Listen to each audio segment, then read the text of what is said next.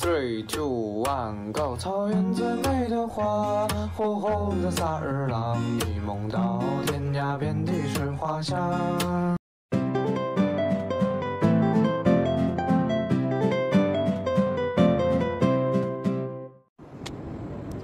Chào các bạn, chúng mình là nhóm phát triển kỹ năng thuyết trình. Có phải bạn đang mắc phải những cảm giác như căng thẳng, lo lắng, tim đập nhanh, ăn nói lắp bắp khi chuẩn bị lên thuyết trình không? Nếu bạn có cảm giác như thế thì đừng lo nha. Vì ở video này chúng mình sẽ giúp các bạn cải thiện những điều đó thông qua kỹ năng kiểm soát căng thẳng và lo lắng.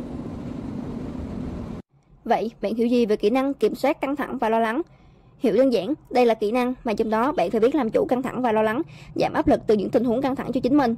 Và sau đây là năm bước rèn luyện giúp các bạn có được kỹ năng này. Đầu tiên, muốn tự tin, trước hết bạn phải biết lý do tại sao bạn luôn có nỗi sợ khi sắp lên thuyết trình. Tại sao phần đông chúng ta lại sợ phải đứng nói trước đám đông? Rất có thể là vì từ trước đến nay, bản thân chúng ta chưa được nói trước đám đông bao giờ. Chúng ta sợ mình sẽ mắc phải những sai sót nào đó, sợ mình sẽ bối rối, lúng túng, sợ phạm sai lầm, sợ làm không tốt, hay sợ người khác không chú ý đến những gì bạn nói. Sợ hãi xuất phát từ việc bạn không biết điều gì sẽ xảy ra khi bạn đứng trước đám đông để thuyết trình. Và đôi khi, phần lớn những điều bạn sợ hãi đều không có thật, chỉ là do trí tưởng tượng phong phú của bạn tưởng tượng ra mà thôi. Thứ hai, nắm rõ những gì bạn sắp trình bày. Bạn hãy liệt kê ra những nội dung cần trình bày, có thể là vài gạch đầu dòng, những từ khóa, hay có thể là bạn nhớ luôn trong đầu những ý chính. Ví dụ như Steve Jobs, ông được biết đến là một nhà phát minh, một doanh nhân người Mỹ, đồng sáng lập Apple, và hơn nữa là tài năng thuyết trình đỉnh cao của ông. Trong một bài thuyết trình, ông thường chia làm 3 phần, vì số 3 sẽ luôn dễ nhớ hơn số 5 hoặc số 8.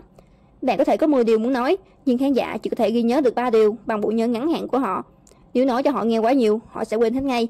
Chính vì thế, bạn hãy xác định những nội dung chính trước khi trình bày nha. Thứ ba, tưởng tượng những gì sắp diễn ra vài lần trong đầu. Bạn hãy tưởng tượng rằng bạn đang đứng dưới đám đông để chuẩn bị trình bày. Bạn hãy hình dung về việc mình sẽ nói những gì, đám đông sẽ tập trung, chú ý bạn ra sao. Điều đó giúp trí não của bạn giống như được tập dượt vài lần trước khi làm thật. Từ đó, bạn sẽ tự tin hơn hẳn khi được tập dượt nhiều lần như vậy. Thứ tư, thư giãn và thả lỏng.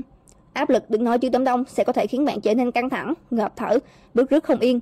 Bạn chỉ cần nhắm mắt lại, tập trung vào hơi thở. Sau đó, bạn hãy hít thở sâu bằng mũi trong 3 giây, giữ hơi thở trong 4 giây và thở ra bằng miệng trong 5 giây. Cứ như thế, bạn thực hiện thao tác này trong 3 đến 5 lần. Điều đó sẽ giúp bạn lấy lại được bình tĩnh và tự tin. Thứ năm, lên dây cót tinh thần cho bản thân. Hay nói cách khác là dùng những suy nghĩ, hành động và lời nói, bạn sẽ tự lên dây cót phấn chấn cho mình để có thể chinh phục đám đông. Đơn giản đúng không nào? Bây giờ chúng ta bắt tay vào việc thực hành 5 bước nha. Bước 1. Muốn tự tin, trước hết bạn phải biết lý do tại sao bạn luôn có nỗi sợ khi sắp lên thuyết trình. Nào, bạn hãy hình dung lại và suy nghĩ xem, khi chuẩn bị lên thuyết trình, điều gì sẽ khiến bạn lo sợ? Có phải bạn sợ sai lầm, sợ mắc lỗi hay sợ tổn thương không? Bạn có 30 giây để suy nghĩ. Nếu thời gian không đủ, bạn có thể ấn dừng video nha.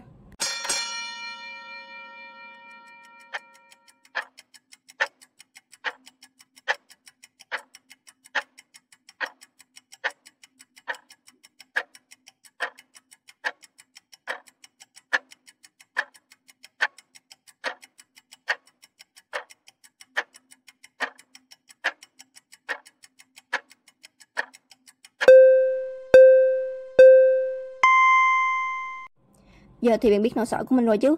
Đến với bước 2 nào. Bước 2, nắm rõ những gì bạn sắp trình bày. Bạn hãy xem lại bài thuyết trình của mình. Hãy xác định đâu là nội dung chính, đâu là những từ khóa để giúp bạn nói về nội dung đó. 30 giây cho bước này nha. Bạn có thể ấn dừng video nếu thời gian không đủ nè.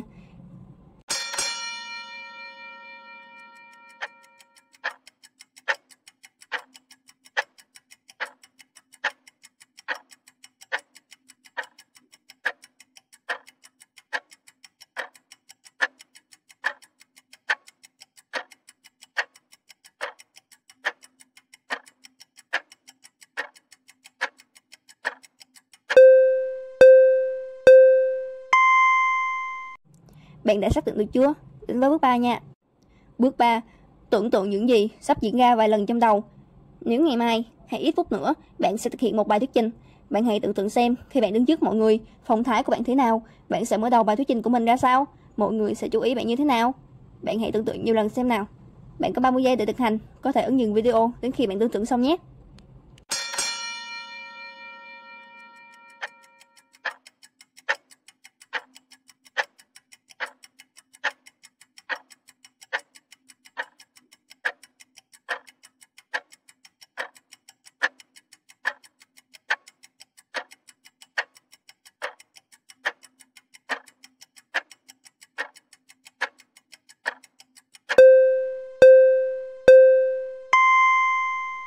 Bạn làm rất tốt đó, tiếp tục nha.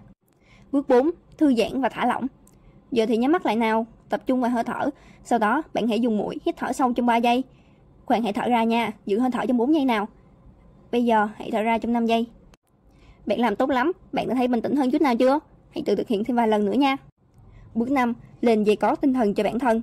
Cuối cùng, đưa tay phải của bạn lên cao và nắm bàn tay lại. Sau đó giật mạnh xuống và nói rằng, mình tự tin, mình sẽ làm được. Cố lên! Chúc mừng bạn, vậy là bạn đã hoàn thành các bước để rèn luyện kỹ năng kiểm soát căng thẳng và lo lắng rồi đấy. Bạn hãy nhớ rằng, kiểm soát căng thẳng và lo lắng là một quá trình dài và đòi hỏi sự kiên trì và định hướng tích cực. Hãy nhớ rằng, bạn không thể giải quyết căng thẳng trong một đêm. Vì vậy, hãy kiên nhẫn và tiếp tục thực hiện các bước để cải thiện hoặc phát triển kỹ năng thuyết trình của bản thân tốt hơn nha. Video đến đây là kết thúc rồi. Xin cảm ơn và hẹn gặp lại. Mọi thắc mắc, xin vui lòng liên hệ email nhóm phát triển kỹ năng thuyết trình a com